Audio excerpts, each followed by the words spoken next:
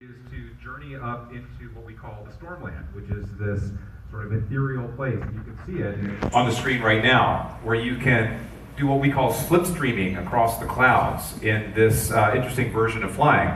Uh, and what's, what I really love about uh, developing this game is anything you can see, you can climb, you can traverse. And our goal with this game was, as Jason's saying, to go bigger, to actually really open things up for VR players and present a game that's not just taking place in a say a small environment, but that challenges you in terms of traversal, in terms of combat, in terms of uh, what you're scavenging out in the environment. And there's a there's a story that goes along with it. It's got cooperative play as well.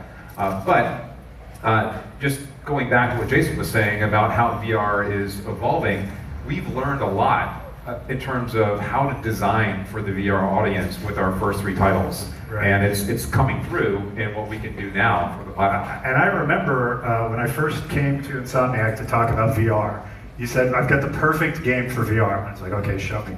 And this was already, uh, Stormland was already a prototype, right? There already existed, uh, there was not a robot hero, if I remember correctly. Right. But the cloudscape, the islands, the things that we're seeing uh, in this video mostly existed and that would have been three years ago or more. Yeah. And I think I remember saying, this is awesome, way too big for the first generation of VR. It's going to take you too long, it's going to be too, too cumbersome, you don't know how traversal should work yet, we're just learning how locomotion and picking something up and all of these things in VR are going to work. And here we are now, three some odd years later, and here it is, right? Well, yeah, you're right. And we didn't know how traversal worked. I think that when we began diving in, we assumed that we could design games the same way we've been designing them for the last almost 25 years. Uh, we figured level layouts would be the same, we figured gunplay would be the same, and it, it totally isn't. And you guys, I'm assuming some of you in this audience are VR players, you know that when you're moving around, things are different. Your head is the camera, right? It's not, we can't move the camera for you. And those are just so, simple things that we, we had to learn to walk before we can run, I guess, is sort of the analogy. Exactly. And you know, from Edge of Nowhere, your first title, which was uh, a character action game, that we had to figure out how to get that to work without having the camera fly all over the place. Third person.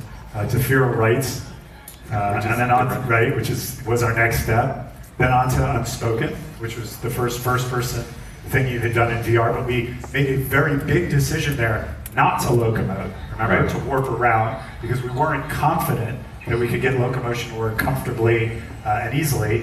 And now you're climbing mountains and jumping all over the place, and everything's just kind of working. And there are all these tricks that we're pulling to make it comfortable for people to do that. Uh, it's amazing how far we've come in really three short years, right? And I think a lot of that does have to do with uh, more adoption of VR and more acclimatization of players who have been in games that are experimenting with how traversal locomotion should work. And that's pretty exciting. I mean, very, very rarely, I think, do developers get to be on the ground floor of new tech, sort of a new design paradigm. And I know at Insomniac, that's been awesome. Yeah. Because we've been designing console games for so long, and now to have something that's that's totally different that makes us think orthogonally is inspiring.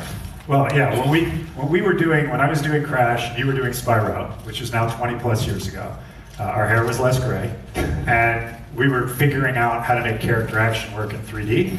And every single step we took was difficult because we had only Mario and Sonic and Donkey Kong Country. Name your favorite 2D side-scrolling game. None of that translated into going into the screen. Um, and if we felt young and alive, right? Yeah. And then we got better and better, and better, and better, better, and better. And at this point, it's like we're still progressing in those games, but it's much easier to know where the next step is because we've had 20 years of development. Along comes VR.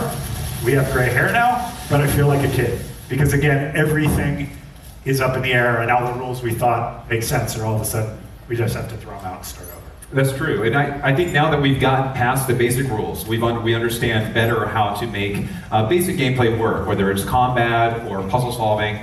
We can start to layer in all of those other design elements that we think are important for games. For example, in Stormland, we actually have a procedural system that's regenerating this the, the Stormland every week. So the idea is that you as a player are going back over and over again to experience something completely different to find new challenges. Uh, you're assigned, part of the challenges is are that you are assigned these bounties to go up into the Stormland and work with friends to take them on every week. So this is a game that keeps keeps going. But again, that was way too ambitious for us to even think about during the first few years of VR. Yeah, getting multiplayer right. In fact, is, well, let's start on some questions. And this one came up in my Twitter feed, so I'll just give it to you so we can answer it more publicly. Um, how does that work, single player, multiplayer in Stormland? Like, it, there are people that say, uh, "Is it only a multiplayer game? I like single player games."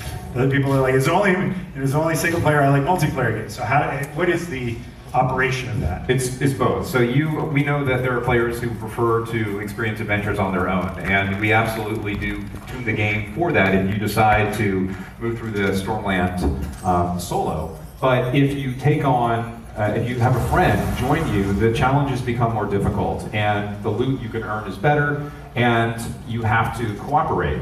What's interesting too about playing with a friend is this idea that in VR, it is it's your friend. The way that he or she moves is very specific to the person, unlike an avatar you might see in a regular console game where it's all generated based on what the animators came up with.